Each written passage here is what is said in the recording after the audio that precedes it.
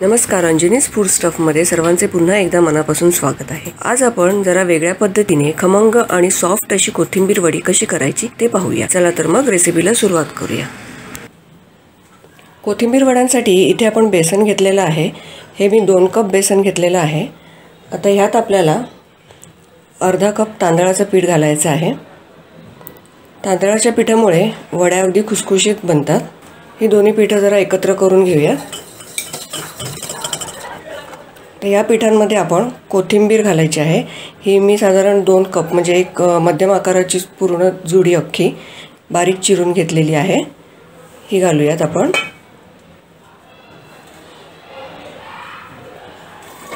कोथिंबीर आपण आवडीनुसार कमी जास्ती प्रमाणात घेऊ शकतो पण वड्या कोथिंबिरीच्या असल्यामुळेच कोथिंबीर जरा जास्ती असलेलीच चांगली. इथे आम्ही दोन तीन हिरव्या मिरच्या बारीक चिरून घेतल्या आहेत त्याही घालूयात. ह्यात आपण सफेद तीळ घालायचे आहेत एक टीस्पून हाफ टीस्पून खसखस आहे. एक टेबलस्पून आपण आलं लसूण पेस्ट घालणार आहोत. हिरवी मिरची आपण बारीक चिरून घेतलेली आहे. त्याऐवजी तुम्ही वाटून घातलीत तरीही चालू शकते. आता आपण एक टीस्पून हळद घालूया एक टीस्पून धणाजिरा पावडर थोडं तिखट घालायचं आहे लाल तिखट. आपण जे घरात अवेलेबल आहे आपल्या तेच. हिरवी मिरची घातलेली आहे म्हणून त्या प्रमाणात लाल तिखट घालायचं. आणि थोडा फ्लेवरसाठी आपण गरम मसाला वापरणार आहोत. तर ह्यात आपण चवीनुसार मीठ घालून घेऊयात.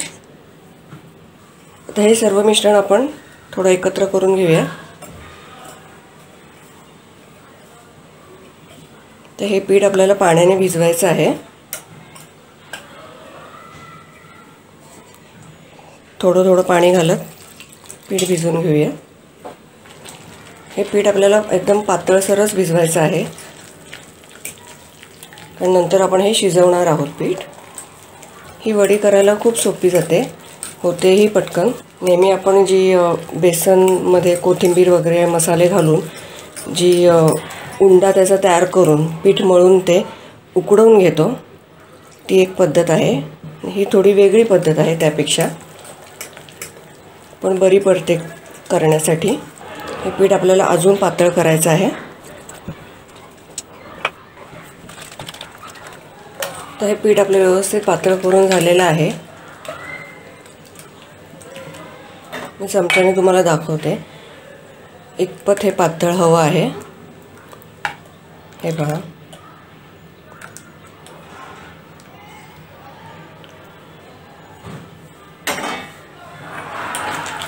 तर व्यवस्थित मिक्स झालेलं आहे.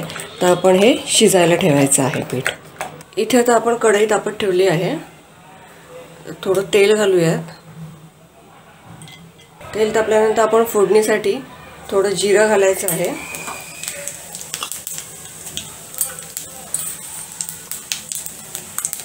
आणि थोडं हिंग घालते.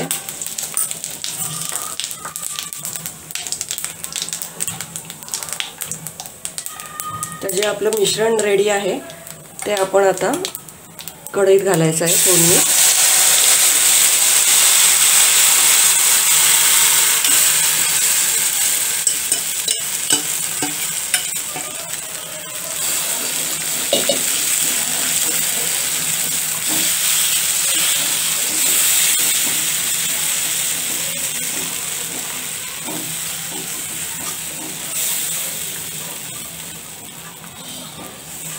तर हे मिश्रण आपल्याला मीडियम फ्लेमवरतीच शिजत ठेवायचं आहे. आपण ज्या प्रकारे बेसनचं पिठलं किंवा पातळ झुणका जो असतो तो शिजवतो त्याप्रमाणे हे मिश्रण आपल्याला शिजवून घ्यायचं आहे.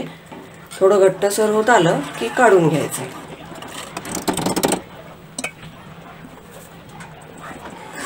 हे मिश्रण शिजत असताना आपल्याला सतत ढवळत राहायचं आहे. तेवढं लक्षात ठेवायचं की याचे गठ्ठे नाही झाले पाहिजेत गुठळ्या नाही बनल्या पाहिजेत बेसनच्या. म्हणून सतत ढवळत राहून शिजत ठेवायचं आहे. हे मिश्रण शिजायला आपल्याला दहा ते पंधरा मिनटं तरी लागतीलच. आता तुम्ही पाहू शकता दहा मिनटात हे आपलं मिश्रण शिजत आलेलं आहे चांगलं घट्टसर होत आलेलं आहे.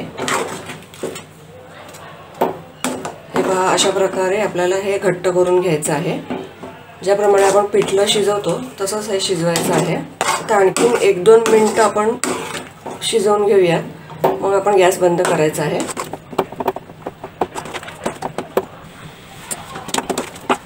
आता हे आपलं वड्यांचं मिश्रण एकदम रेडी आहे. आता आपण गॅस बंद करूयात. आणि जरा ही वाफ निवली की आपण हे ताटात काढून घ्यायचं आहे. आता इथे मी ह्या एका ताटाला तेल लावून घेतलेलं आहे. आता ह्यात आपल्याला वड्यांचं मिश्रण काढून घ्यायचं आहे.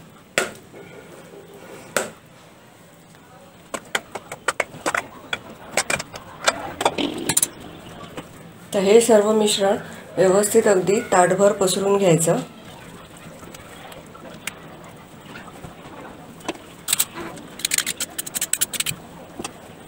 व्यवस्थित अगदी सलग करून घ्यायचं आहे संपूर्ण ताटभर. आणि हे आपल्याला थंड करत ठेवायचं आहे. जसं जसं हे मिश्रण थंड होईल तसं हे पूर्णपणे सेट होऊन जाईल आणि मग ह्याच्या वड्या आपल्याला कट करता येतील. हे संपूर्णपणे थंड होण्यासाठी जवळजवळ अर्धा ते पाऊण तास लागेल. त्यानंतरच आपण ह्या वड्या कट करू शकतो.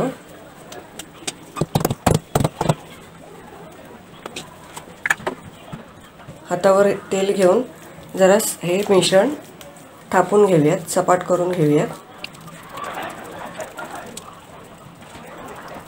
असं केल्यामुळे वड्या व्यवस्थित कट होतील.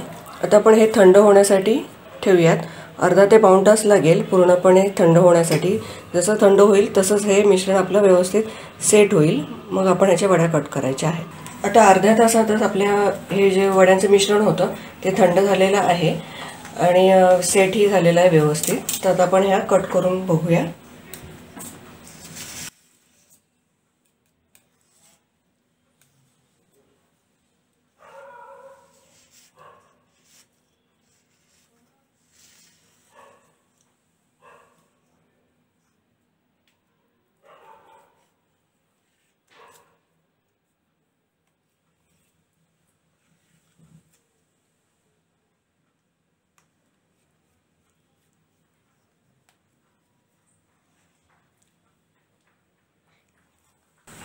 अशा प्रकारे चौकोनी वड्या कट करून घ्यायच्या आहेत.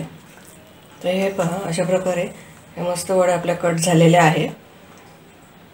किती सॉफ्ट झालेल्या आहेत. आता आपण डीप फ्राय करायचे आहे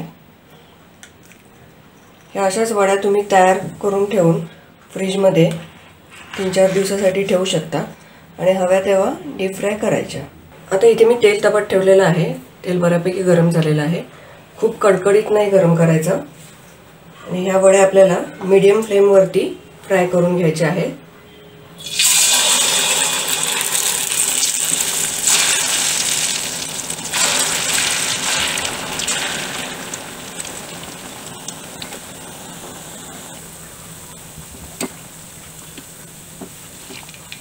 वड्या आपण सोनेरी रंगावरती फ्राय करून घेऊयात.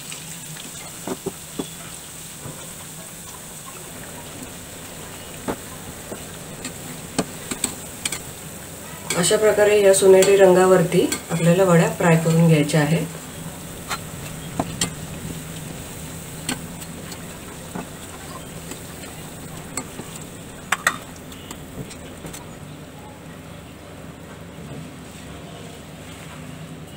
अशा छान छोटी सोनेरी रंग येईपर्यंत आपण वड्या मस्तपैकी फ्राय करून घेतलेल्या आहेत. वरून अगदी चांगल्या मस्त खुसखुशीत कुरकुरीत आणि आतून सॉफ्ट अशा या वड्या होतात